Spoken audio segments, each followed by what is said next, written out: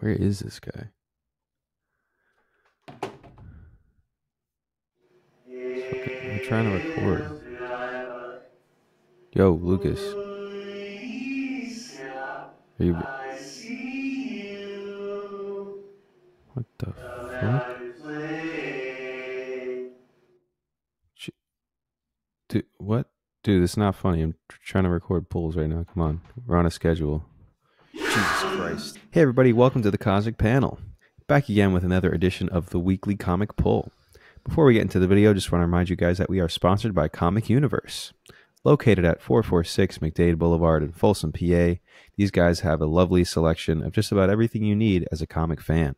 We're talking new books every single Wednesday, a subscription service that you can sign up for and save 10% off new books every week.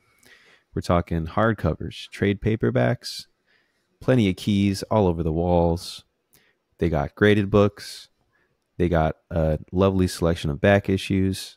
They got a great dollar bin section. Uh, more recently, they have Pokemon cards and lots more toys. So definitely go and give them a visit, guys. If you see Mike and Mike, let them know the Cosmic Panel sent you. Thanks so much for the sponsorship. Yeah, thank you guys. As always, remember to like, subscribe, support your local comic shop, and comment down below what books you're pulling this week. Anyway, before we kick off, let's uh, or actually, let's kick off. Uh, Elias, what's your first pull? My first pull for this week is going to be Ultimate Black Panther number six. Um, this series has been, in my opinion, the weakest of the Ultimate line. Um, but uh, it, last issue is finally starting to pick up. Yeah, Um, my main issue with this book was just the pacing was very off. Um, they were kind of taking a long time to do very little, and it seemed like they were also trying to do the time jump, the month by month time jump. Um, so it created a bit of an awkward pacing. Um, but we're finally getting some more uh, action with Ra and Khonshu and the Fists. So I'm excited to uh, to learn more about Moon Knight in this universe. I think the characters, both of them, have a lot of uh, potential. So I'm hoping that this issue has some uh, has some answers and has some action for us. yeah. I also like uh, the dichotomy of the new uh, metal being that vibranium uh, basically uh, enhances metals and inorganic materials, while this enhances biological materials. I thought that was a pretty interesting dy- dynamic and dichotomy to the story. Honestly, Yeah, uh, an, an anti vibranium, uh, as they described it. It's interesting. I'm curious to see um, if it has any roots in Marvel lore, or if it's just going to kind of be roots. its own creation, uh, and they're just going to kind of go with it and develop it the own their own way. Um, but Yeah, I'm interested I- to see. I wish they had given us more information about this, like when they revealed it, because like when they revealed it like three issues ago, it was like, okay, here's a green orb, cool, I guess. Like, like we didn't we didn't know anything about it, so it's like Yeah, now now it's like okay, this is actually interesting, but this is information that we've honestly should have gotten like issues ago. yeah. That being the reveal at the end of an issue is kind of goofy because yeah. I don't think it's we didn't know what it was. Lore, so it's just oh, big fucking orb. Like you and I were like, is it like an alien thing? Like what what is this? yeah, pretty strange. but but I hope it gets stronger. You know, yeah, definitely be interesting. what is your first pick for this week? So my first pick is Zatanna Bring Down the House. The art for this is phenomenal. I'm not gonna lie. The art is is spectacular. Javier Rodriguez is amazing at uh, capturing like the the whimsical slash like supernatural angle of Zatanna. Um, the first issue was was solid. I don't think it's the best start to the story, but it definitely got um, some pretty consistent characterization for Zatanna down, and also showed off that in this version, in this universe, she doesn't like to say that her magic is actually magic. She hates, she avoids the word magic uh, and always says tricks. Um, because when she was a child, she used magic and accidentally sent a boy to hell.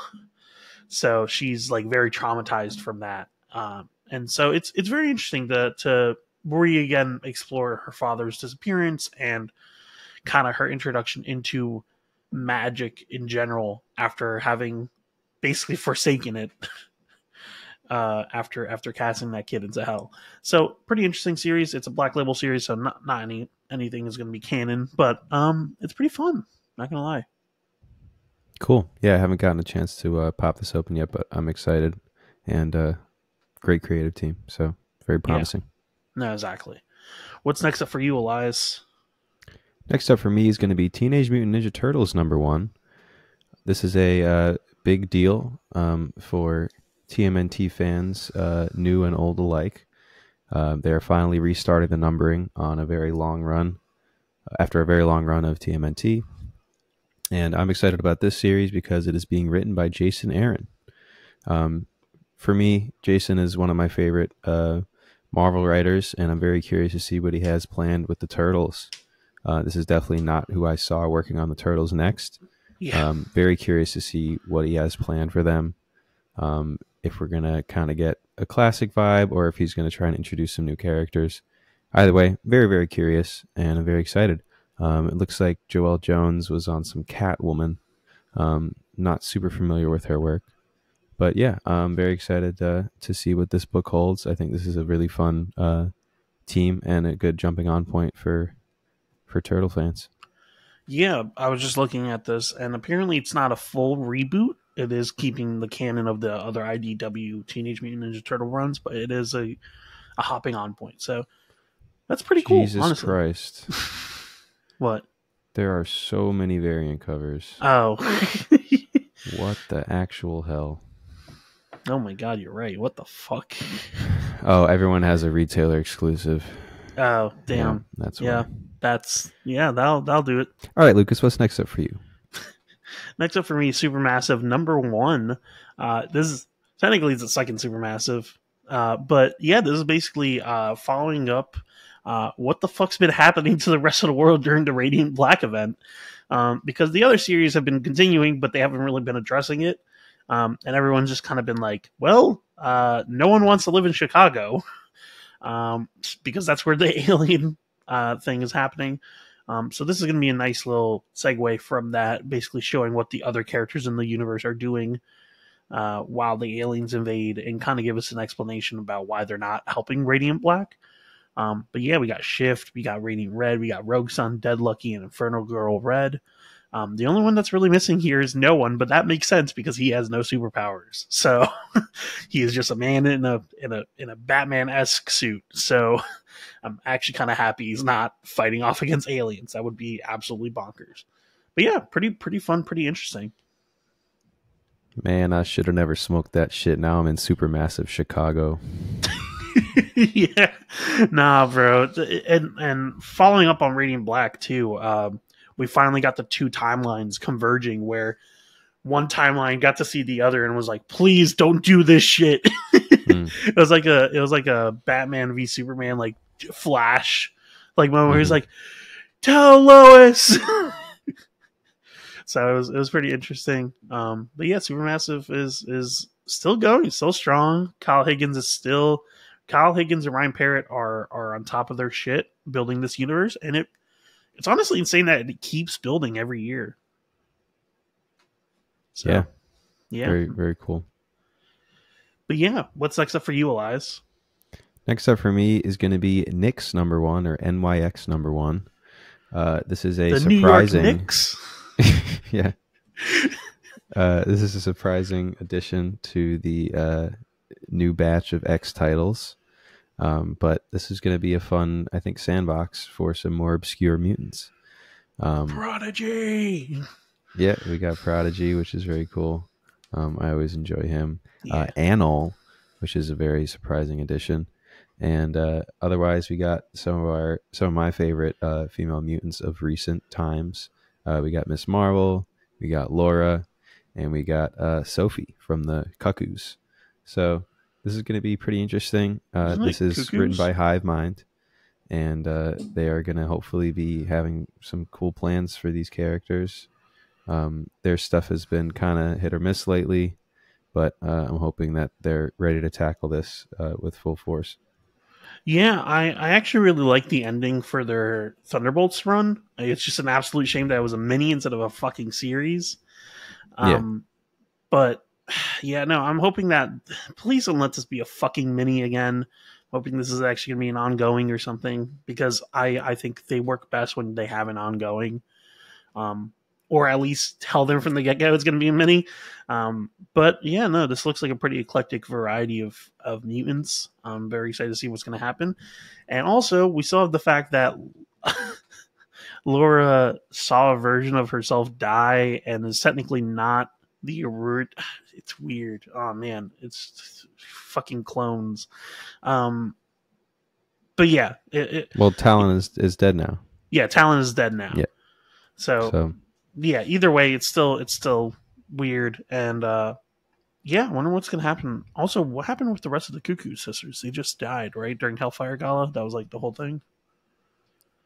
Um, I mean, yeah, uh, but I don't know how Sophie is here.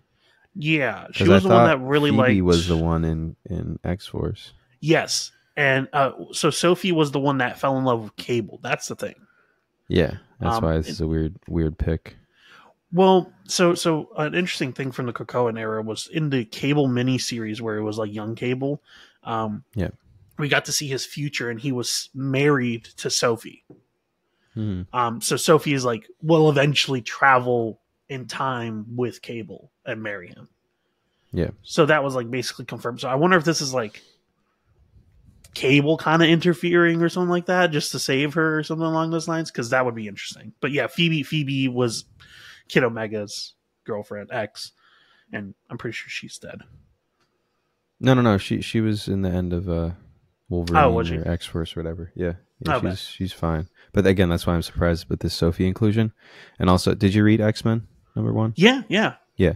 I, they didn't explain how Quentin was back. yeah. They didn't. um, I was very was surprised by that.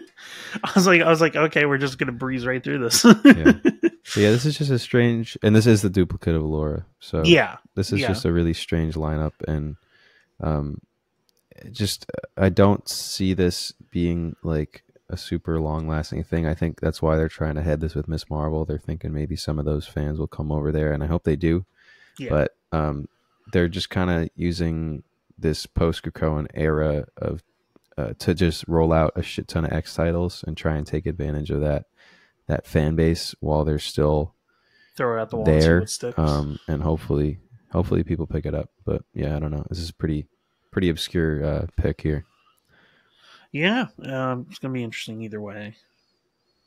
all right lucas what's next up for you Next up for me is Six Fingers number five. This is the last issue of the Six Fingers. Um, so we came to the realization in the hand, the one hand, and the six fingers that everyone's a fucking robot. this is basically we, we got fucking Westworlded. Uh, every everything's a fucking robot. No one's actually a person. Uh, this is just uh, basically some some form of like robot factory where the robots are are thinking that they're human and therefore they're put to work. Um, but so that they never uprise or anything like that, they think that they're humans and they have like little cycles. Uh, and we realize that because the detective goes all the way to the fucking airport and realizes that all the planes never take off. And it was like, oh yeah, why would none of the none of the planes take off? Hmm. Um, but yeah, so we realize that the serial killer isn't actually killing people; he's killing robots. But the reason why is because he's quite literally the glitch in the system, trying to like tell the other robots, like, "Hey, wake up." Um, so way more uh, crazy than I thought it would be, to be honest. Um, story story took a wacky fucking turn. So I don't know what's going to happen now because last we saw, the detective was locked up by the scientists that make the robots, and they're questioning him, being like, "Hey, how the fuck did you figure out that you're a fucking robot and everyone else is a robot? Um, please explain." And so now we're going to get the perspective from the Six Fingers about what's happening with uh, Johannes. So very interesting. Very excited to see what's going to happen. yeah definitely not the twist i was expecting that's pretty crazy Very much not. They kept on hinting that there were robots, but they didn't necessarily say it outright. They kept on saying bioorganics. Um, but they never like said like, "Hey, we have a robot here." Like they never used that term, so it, it was very much like a blinking you miss it type of reveal. But like now, now that I'm like I know it. Like I can look back and be like, oh, that makes sense. Huh. That's pretty crazy. Yeah, it was it was a very interesting review to say the least. So six fingers and one hand is one hand also ending? Yeah, one handed actually en- ended last last issue, so they already had Oh, okay. issue number five, and so this is the one that's going to close out the entire series. Oh, word. Cool. Yeah, the one hand started it, and then the six fingers closes it. Nice. So pretty interesting. Sweet. But what's next up for you, Elias? Next up for me is going to be Sacrificers number 10. Uh, Pigeon is on a rampage, Demon time. uh, just fucking shit up. Uh, last issue was amazing. Uh, parts art, action, and drama. Um, Pigeon is uh, kind of discovering this newfound power, still getting used to how powerful he is, um, and definitely had some, you know, regrets about um, how he uses power. Because right now he's just again on a rampage, using it for violence, but um, I think rightfully so, taking you know vengeance on the the people in power who basically uh, created this tradition of sacrificing uh, someone every year from your uh, from your village, from your household. So um, yeah, it's it's pretty intense. Um, we haven't had time uh, with Saluna for a while, so I'm excited about this issue to kind of see what she's up to. Um, see if she's going to be able to survive. Maybe meet up with Pigeon. Uh, I'm sure she's to doing see just what Pigeon has to do. Uh, has to has to say to her at this point. Um, but yeah, she's definitely in rough shape. So it's going to be a tough fight for her if she is able to survive. Yeah, it's definitely going to be interesting to say the least. And Pigeon, yeah, I really like Pigeon's almost brutality against the gods, but then also um, they kind of hinted that the gods don't actually know that it was children that was being sacrificed to them, um, which is interesting that they Right. didn't know that. So my guess is that uh, what's his name, Soul, had like the recipe quote unquote locked down or something, so that the other gods wouldn't just like consume whatever the fuck the nectar to keep Yeah, it's themselves. very possible he kept it a secret from the rest of them. Yeah, so very interesting. Nonetheless, this world is wild as fuck, and uh yeah, Rick Remender killing it. Yeah, and beautiful art from uh, Max Fiumara. Oh yeah, definitely. All right, Lucas, what is your next pick? My next pick is the Nice House by the Sea. Um, James Tynion is dropping the sequels that everyone's been fucking asking him. I guess someone finally grabbed him and held a gun to his head. Um, whether it be Department of Truth or the Nice House by the Sea, uh, or the Nice House by the Lake, this is now the Nice House by the Sea. Um, so, from what we understand, uh, Max was was some form of an alien that basically collected people of like different fields, masters of different fields of culture, so that we can he, he could preserve it once humanity and the earth was killed by his alien overlords or whatever the fuck. Um, really interesting, honestly, crazy story, crazy haunting tale, very much like a horror story more than anything else. Um, as he saw these people psychologically just break of being in the same house with each other and like realizing that one they can't die like they can't even kill themselves if they wanted to um, they can summon literally anything to the house except for anything related to like uh people or anything like that and then like them uncovering the secrets of everything. But yeah it seems like end of end of the last series max sacrificed himself uh and then dis uh, pretended to die pretended to die so that everyone would think that they are now under control of their own fate, even though he is still kind of overlording all of them. So, still very interesting, very very uh, unique book, and uh, I'm excited to see what's going to happen. Sweet. Yeah, this is uh, definitely a book I've heard a lot of good things about, and uh, definitely uh, a long-awaited sequel. So pretty exciting. Oh, also the art is bonkers, genuinely insane. Um, if you have not seen the art for it, it gets absolutely crazy. Um, Yeah, as the story really. progresses. Yeah, no, the art is wild to say the least. Um, or sorry, not Max. It's his name isn't Max. My my bad. I'm realizing I'm looking back at at the, my the previous series. You just gotta get a clean take of the name and then just edit it over each time you just said Max. Walter. Walter's the guy's name. So I guess this is a new monster, new alien. I guess same same deal, but yeah. Either way, interesting that it's happening multiple times too. Um, but it should be interesting. Yeah, Sweet. yeah. What's next up for you, Elias? My final pick of this week is going to be Vengeance of Moon Knight number seven. And uh, like Lucas said before, um, when they have a sub artist on Moon Knight, they're usually pretty strong. And I thought they were on the last issue. Um, so this is going to be a huge one. Um, this was, you know, something that Lucas and I had theorized about a long time ago. Um, definitely wasn't expecting them to do it in an event. Um, so it's pretty exciting. Um, but spoiler warnings if you guys haven't read uh, Blood Hunt 4 or saw that they did a zero issue for Moon Knight.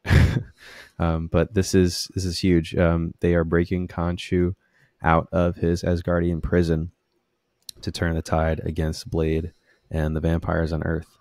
Um, so super super excited about this issue. Just from the cover, you can tell that um, Hunter's Moon and Tiger have to break into Asgard.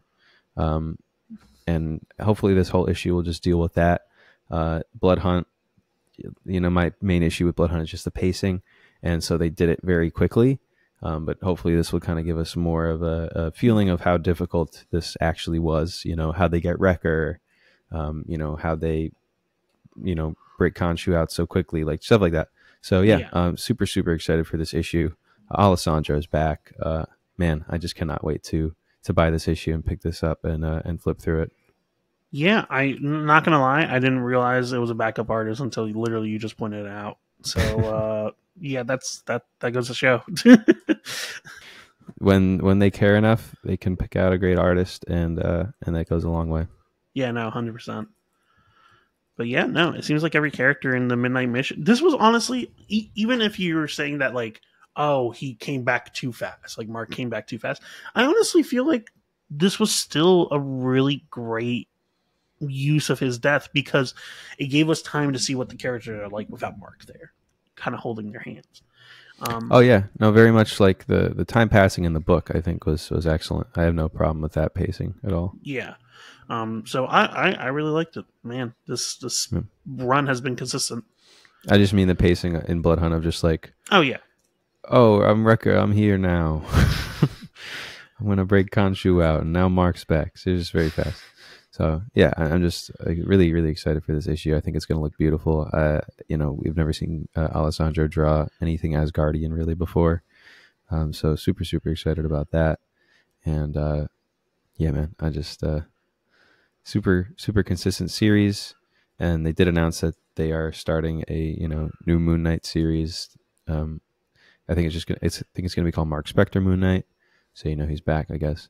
Oh really? Um, yeah, and that's going to be the next volume. So when this Vengeance run is over, then they will uh, start up again with Mark. So pretty I thought it was exciting, something else. and I'm curious to see where um where um Cloak is going to stand um now that Mark is back. Yeah, no, it'd definitely be interesting to say the least. Um, Super hype. yeah, no. All right, Lucas, what is your top pick for this week? My top pick for this week is No One number 10. Um, this is the last issue, and holy fuck, last issue was crazy. Everything came to a fucking head. Um, talk about build up. Like like this series, slow burn, definitely. I liked it. I, I get that it's not for everyone. But last issue was really the culmination of all that shit hitting the fan. Um, we had the the law passed that basically allowed if you were threatened online or threatened in person, you're allowed to basically take your gun and shoot someone, um, which is an insane fucking law until you look at modern politics and go, oh, yeah, no, they would probably pass that. Um, but yeah, basically, this story is just commentary on that.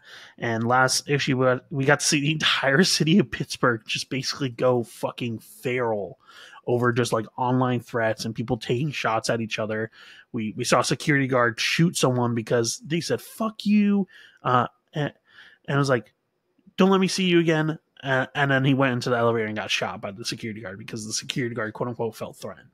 Um, and then a kid brought a gun to school and used it because she was being bullied, and technically she's protected under the the law. So it's like very interesting. And we got a moment where no one took off their mask because they were fighting. No one was like trying to disarm everyone, but everyone was trying to fight each other, and it's just like a full riot.